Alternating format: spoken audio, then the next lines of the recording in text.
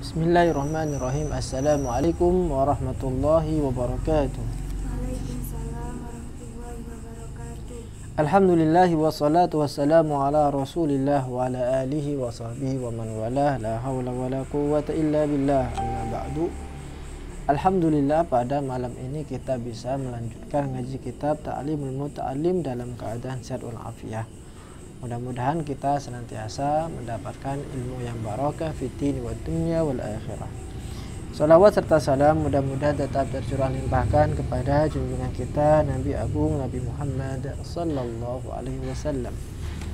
Pada pertemuan kali ini kita akan mengangkat suatu tema yaitu lanjutan dari apa yang kita bahas pada pertemuan sebelumnya yaitu tentang pentingnya doa, akal dan usaha Di halaman 86 Bismillahirrahmanirrahim.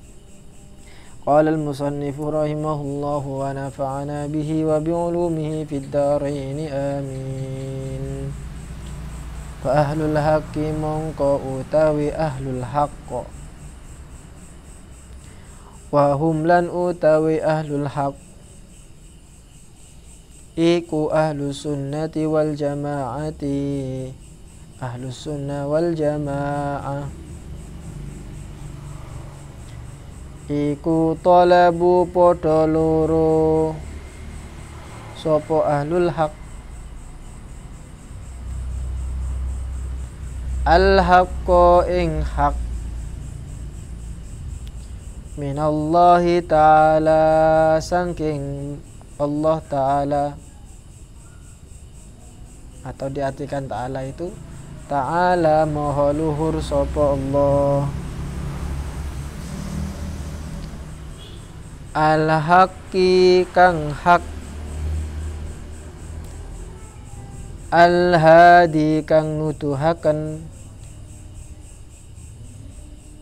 al mubini kang mertelaaken al asimi kang raksa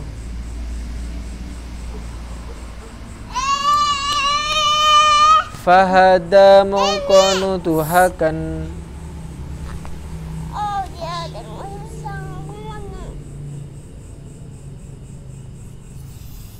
hum ing ahlul haq. Sapa Allahu Ta'ala Allah Ta'ala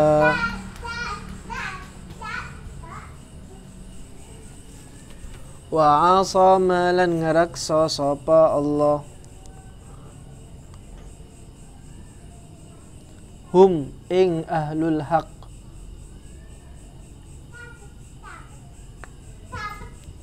Anil dalalati sangking sasar.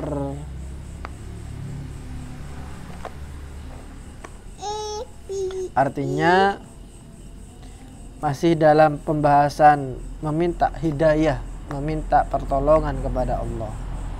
Nah,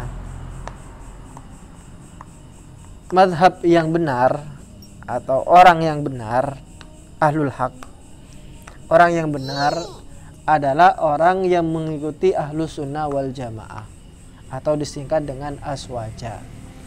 Bagaimana i'tikadnya orang aswaja ini? Jadi ahlu sunnah wal jamaah ketika mereka meminta al-haq, meminta kebenaran, maka mereka ini meminta kebenaran kepada siapa? Kepada Allah. Bukan kepada selain Allah. Itu uh, pendirian orang ahlu sunnah wal jamaah. Kita ini ahlu sunnah wal jamaah, aswaja. Nanti kalau mau minta pertolongan, minta kebenaran, kita berdoa, maka hanya kepada siapa? Kepada Allah saja. Tidak usah minta kepada yang lainnya. Di mana Allah ini mempunyai sifat al-haq, maha benar. Al-hadi yang memberikan petunjuk. Al-mubin yang jelas. Al-asim yang menjaga maka Allah itu memberikan petunjuk kepada mereka serta menjaga mereka dari kesesatan Sebagaimana firman Allah Subhanahu wa taala di dalam Al-Qur'an. Allahu waliyul ladzina amanu. Allah itu adalah pelindungnya orang-orang yang beriman. Yukhrijuhum minadh dhulumati ilan nur. Allah ini mengeluarkan orang-orang dari kegelapan menuju cahaya. والذين كفروا أولياؤهم الطاغوت يخرجونهم من النور إلى الظلمات Sebaliknya, orang-orang kafir ini pelindungnya adalah Tawud. Tawud itu raja setan. Di mana Tawud ini mengeluarkan orang dari cahaya kepada kegelapan. Berarti kebalikannya. sehingga apa yang didapati oleh orang-orang kafir ini ulaika ashabun narihum fiha khalidun. Mereka itu adalah penghuni neraka dan mereka kekal di sana. Jadi intinya bahwa ketika kita minta perlindungan, meminta pertolongan, kita berdoa, meminta kebenaran, maka mintalah hanya kepada Allah semata. Kita lanjutkan. Wa ahlu dhalalati lan utawi ahli, ahli kesasar. Iku ajabu poto kawu akan sopo ahlu dhalala. Bira'yihim kelawan pitutuwe atau pendapat ahlu dhalala. wa aqalihim lan akali ahlu dhalalah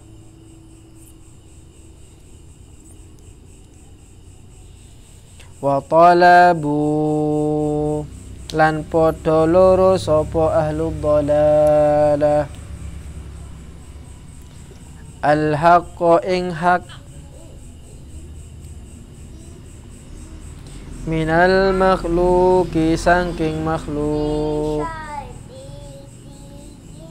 Al-ajisi kang apes. Utawi wa huwa utawi makhluk. Iku al aklu akal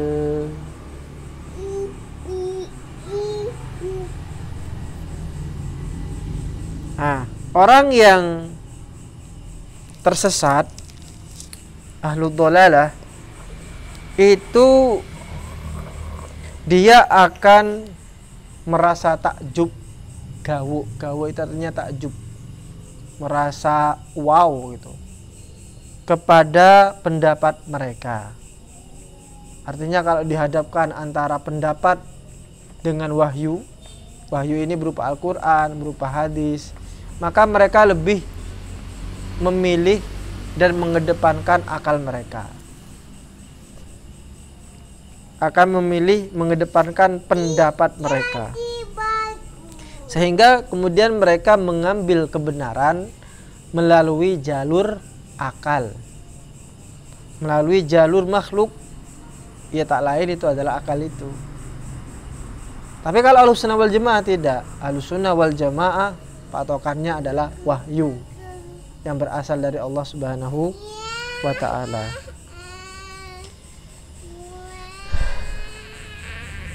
Kenapa akal ini kok kemudian disebut dengan ajis?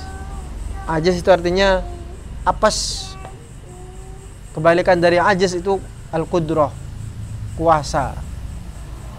Kalau ajis itu apes berarti ada yang kurang. Kenapa akal disebut dengan ajis? Li'anna al-aqla krono huni akal. Iku la yudriku ora bisa nemu apa akal. Jami al asya ing sekab ing sekabehane pira-pira suwici-wici.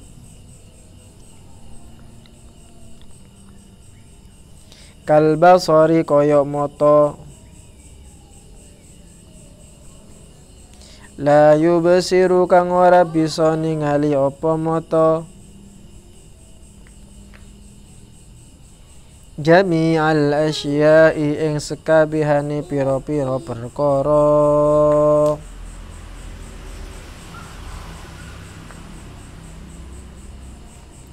Fahujibu mongko den aling-alingi sapa ahlul dhalalah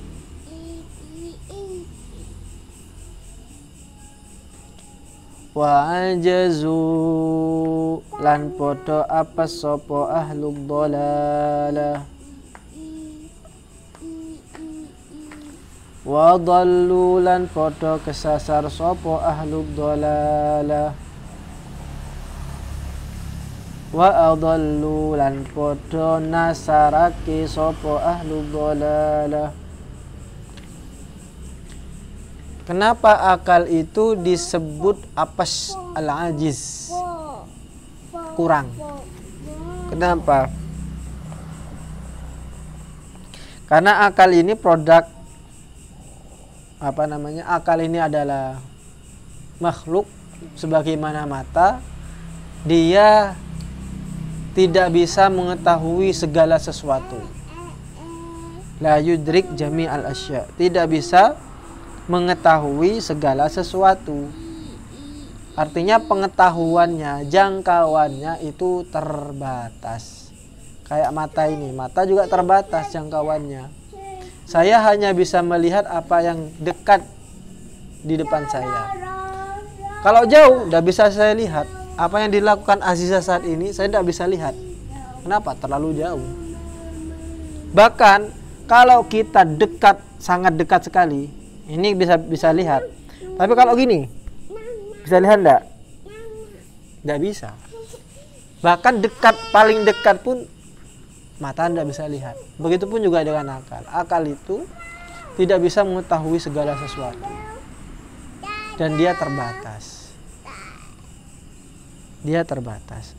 Tidak usah mikirin yang di luar alam ini sampai kepada angkasa, Pluto, planet paling terjauh yang ada di tata yang ada di apa namanya tata surya maksudnya matahari dan planet-planet yang lain. Jangan tidak usah yang jauh-jauh ke situ dah. Atau kejadian Isra Mi'raj sampai kepada Sidratul Muntaha. Akal tidak mampu itu. Tidak usah yang jauh-jauh yang situ. Akal memikirkan apa yang ada dalam badan saja ini tidak bisa Apakah akal tahu seberapa banyak sel darah merah yang ada di dalam diri manusia? Tidak tahu akal. Atau apakah akal tahu seberapa banyak jumlah rambut yang ada di kepala saya? Tahu enggak? Enggak tahu. Itu rambut doang itu. Rambut terlalu banyak. Seberapa banyak ini bulu kece ini ya? Apa yang namanya? Bulu kijak ini berapa? Akal tidak tahu akal itu. Pun juga sama mata. Mata tidak bisa melihat apa yang ada di belakang kepala saya saat ini. Tidak bisa melihat apa yang ada di punggung saya. Tidak bisa melihat. Ini menunjukkan apa? Keterbatasan akal dan mata. Pun juga sama dengan hidung mulut telinga. Telinga kita ini terbatas dia hanya bisa mendengarkan pada frekuensi tertentu saja. Kalau frekuensinya terlalu rendah, tidak bisa dengar. Atau frekuensinya terlalu tinggi, maka juga tidak bisa dengar. Itu ini kita, apa namanya? E, pendengaran kita. Maka sekali lagi jangan jadikan akal itu sebagai sumber satu-satunya di dalam menggali kebenaran. Tapi yang harus dijadikan sumber awal itu adalah wahyu. Wahyu itu berupa Al-Quran, berupa hadis, berupa pertolongan dari Allah. Kita berdoa kepada Allah untuk diberikan, untuk diperlihatkan mana kebenaran. Itu yang paling penting. Itu saja yang bisa kita sampaikan karena sebentar lagi sudah isya dan saya harus misi pengajian. Mohon maaf dan wassalamualaikum warahmatullahi wabarakatuh.